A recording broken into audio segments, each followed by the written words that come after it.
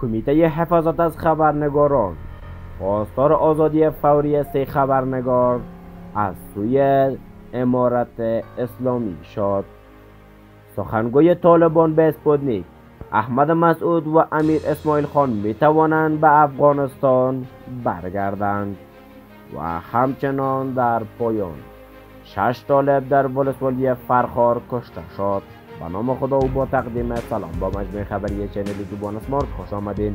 خواهش می‌کنیم تا آخرین ویدیو با ما بوده و channel YouTube ما را subscribe نمایید تا از ویدیوهای جدید و روزانه ما با خبر شوید.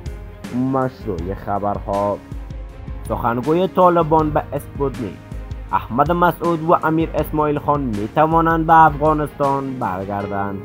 معاون سخنگوی طالبان در خصوص نشست مقامات طالبان با رهبری جبهه مقاومت ملی گفت و احمد مسعود و امیر اسماعیل خان اطمینان داده شد که می توانند به کشورشان برگردند.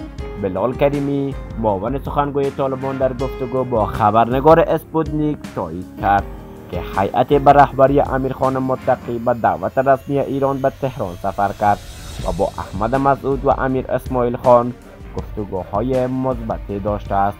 او خاطر نشان کرد که هیئت طالبان به رهبری جبهه مقاومت ملی و امیر اسماعیل خان اطمینان داده است که آنها می توانند به کشورشان برگردند.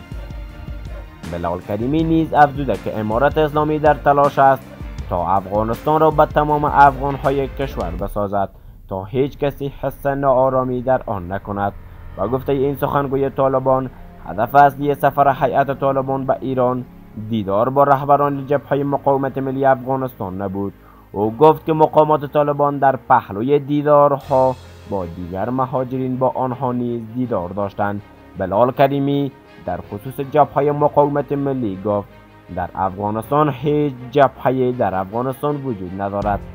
اگر کسی در صفحات اجتماعی ادامه کند آنها ناراض هستند. با آنها اطمینان می‌دهم که آغوش امارت اسلامی به همه آنها باز است و می توانند به کشورشان برگردند. در همین حال عبدالرعوف شیرزاد در روی صفحه رسمی فیسبوک خود چنین نگاشته است. تازه شش طالب در ولسوالی فرخار تخار کشته شد.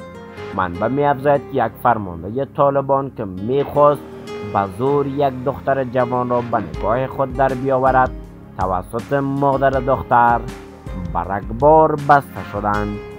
گرفته شده از صفحه رسمی فیسبوک عبدالرعوف شیرزاد. تا کنون این خبر از سوی منابع رسمی امارت اسلامی تایید و یا رد نشده است.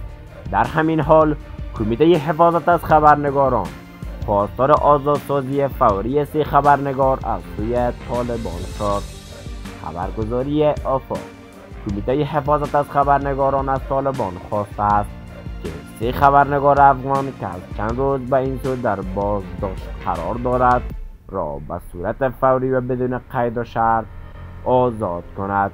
این کمیته که مقر اصلی آن در نیویورک ایالات متحده آمریکا است گفته که فیصل مدرس ادریس رحیمی و میلاد عزیزی.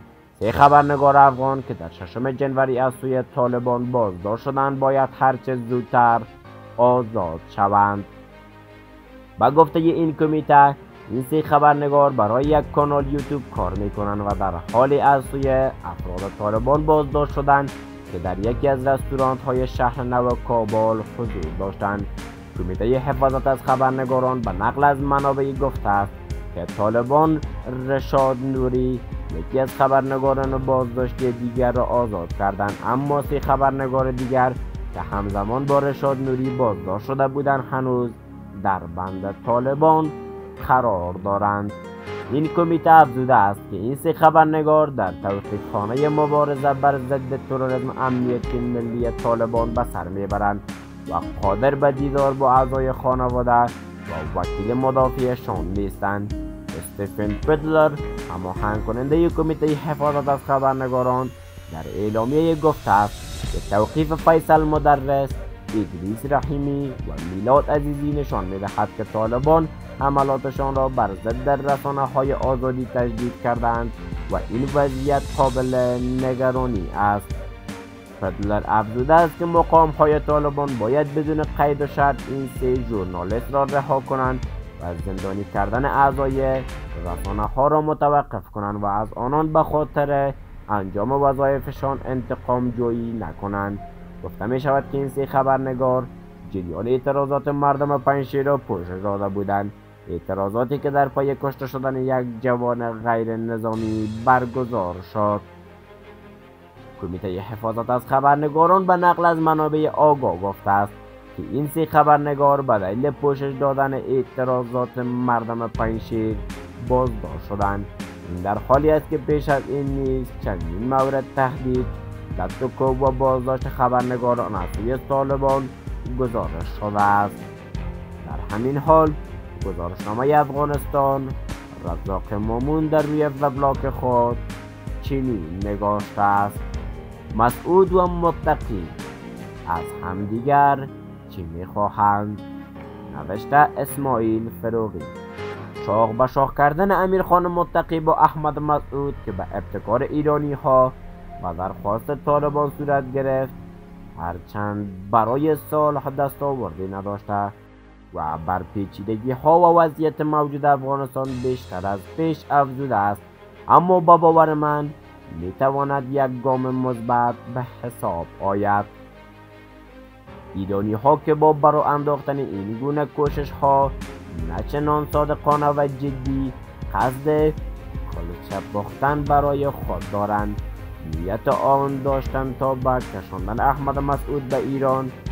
ریسمان سخت بیعت گیری به شیوه جعفر مهدوی را بر پای احمد نیز بپیچند و با سپردن وعده و های برای مسعود از سوی طالبان او را نیز از سکوی بلند و با اهمیت مبارزه و دادخواهی به زیر افگنند. وعده 20 کرسی و مقام بلند دولتی به طرفداران مسعود و تخلیه پنجشیر از وجود طالبان دو تا از مشوق ها و دانه های خوش است.